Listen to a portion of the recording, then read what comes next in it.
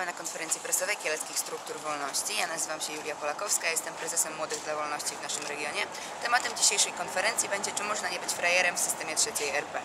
Jako pierwszy głos zabierze prezes Kieleckich Struktur Wolności Dawid Lewicki. Szanowni Państwo, nas w jakimś stopniu dziwi to, że jeszcze tak wiele osób w Kielcach, w Polsce pracuje, bo przecież można sobie spokojnie żyć z zasiłków, dostać 500, dostać darmowe obiady, kilka innych rzeczy i nie być frajerem. A człowiek pracujący w tym kraju jest zwykłym frajerem, bo płaci na tych, którzy nic nie robią. Wolność jako jedyna partia mówi od dawna to samo. My zasiłki zlikwidujemy, zlikwidujemy urzędy pracy, które pracy nikomu nie znajdują i zlikwidujemy takie programy jak 500. Dlaczego? No wiadomo, że to jest nieuczciwe, że ktoś, kto pracuje, ma, ma, ma płacić zasiłek temu, który nic nie robi, który dostaje pieniądze za nic. To jest niemoralne, to jest nieetyczne, to jest niezgodne z, naszym, e, z naszą cywilizacją. Jeśli chodzi o urzędy pracy, no to wiadomo, e, urzędy pracy zatrudniają około e, 20 tysięcy ludzi w skali kraju, kosztują nas 3 miliardy złotych, e, ta cała aktywizacja bezrobotnych, a czy ktoś z Państwa w ogóle zna osobę, która znalazła pracę przez Urząd Pracy? No Chyba nie.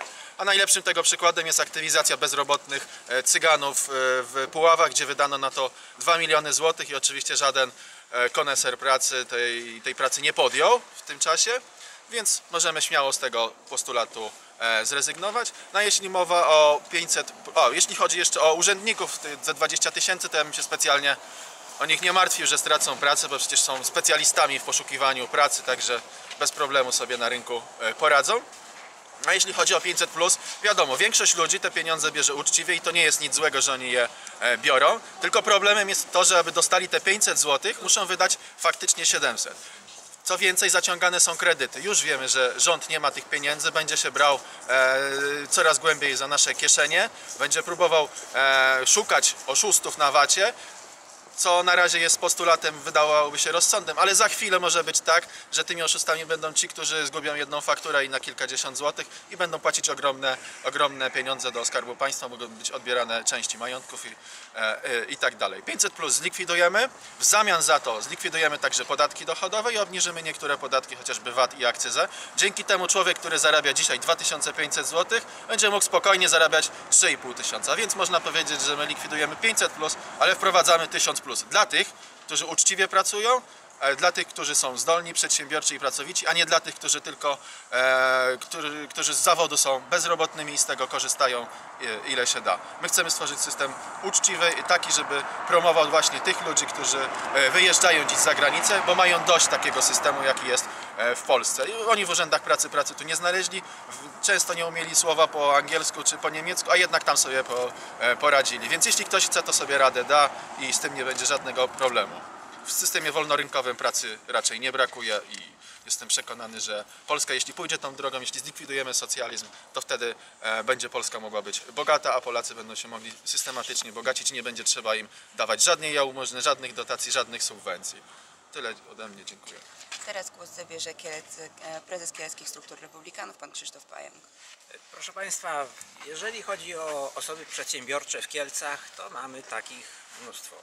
Są to osoby, które w sposób bezwzględny korzystają z pomocy Miejskiego Ośrodka Pomocy Rodzinie w postaci, w postaci zasiłku, w postaci zasiłku celowego, okresowego, w postaci zasiłku alimentacyjnego, w postaci dofinansowania do czynszu, dofinansowania do energii, w postaci ciepłego posiłku dla każdego członka rodziny.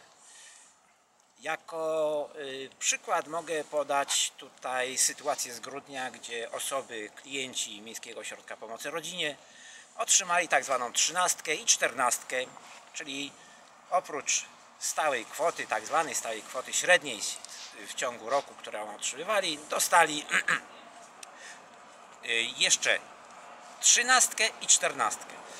Yy, Niewątpliwie jest to sukces menadżera roku, pana dyrektora Sceliny. Czekamy na to, aby yy, pan Scelina w pierwszym kwartale wypłacił dywidendę z Miejskiego Ośrodka Pomocy Rodzinie, albowiem takie pieniądze pewnie się znajdą. Proszę Państwa, jest sporo osób, które naprawdę dobrze sobie radzi, nigdzie nie pracują. I te osoby, z tych osób powinni brać przykład wszyscy frajerzy, pracujący, albowiem oni ciężko wykonując swój zawód 8, 10, 12 godzin dziennie starają się utrzymać rodzinę. przedsiębiorcze osoby zaradne nie pracują i żerują właśnie na tych osobach, które płacą miesiąc w miesiąc podatki. Dziękuję. I na koniec e, członek Kieleckich Struktur Wolności Krzysztof Kasz. Słuchajcie Państwo, sytuacja jest tak, że jestem pracodawcą, prowadzę działalność gospodarczą od przeszło 20 lat i co roku mam podnoszone różnego rodzaju podatki, daniny. Coraz więcej się od nas wymaga. E, Z drugiej strony w tym roku na sam ZUS musimy przeznaczyć tylko ode mnie prawie 1200 zł, a osobę, y, którą chciałbym zatrudnić na tej najniższej, mój cały koszt tej osoby to jest 2400 zł z groszami, gdzie na rękę dostanie 1400, niecałe 1460 zł. Czyli w tej sytuacji prawie 1000 zł oddaje się w postaci różnych danin. Już nie mówię tutaj o podatkach lokalnych czy też o czynszach.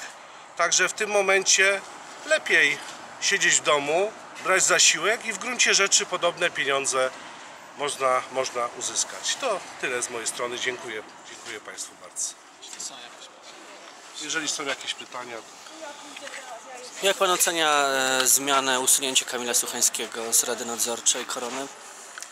Ciężko, ciężko tutaj się odnosić, bo nie znam sytuacji, jak to wyglądało wewnątrz. E, Pan Kamil Suchański mimo wszystko nie był chyba związany z układem pana prezydenta Lubawskiego i z PiSem, więc być może to było e, mu nie po drodze. Sprawa według mnie ma z całą pewnością podtekst polityczno-biznesowy. O biznesowym się mówi, a polityczny jest tutaj aż nadto widoczny. Jest to kwestia obozu pana prezydenta Lubawskiego i PiSu, a z drugiej strony e, prawdopodobieństwo kandydatury pana, pana Kamila Suchańskiego na prezydenta e, miasta Kielce, więc jest to w jakimś stopniu pewnie wycięcie jednego z kontrkandydatów, który mógłby przedstawić sytuację finansową korony i to, co się z nią działo przez ostatnie lata. Wiemy, że e, kolorowo to tam nie było. E, no i pan prezydent się pozbywa w tym momencie jednej osoby, która by mogła właśnie tam coś, coś powiedzieć.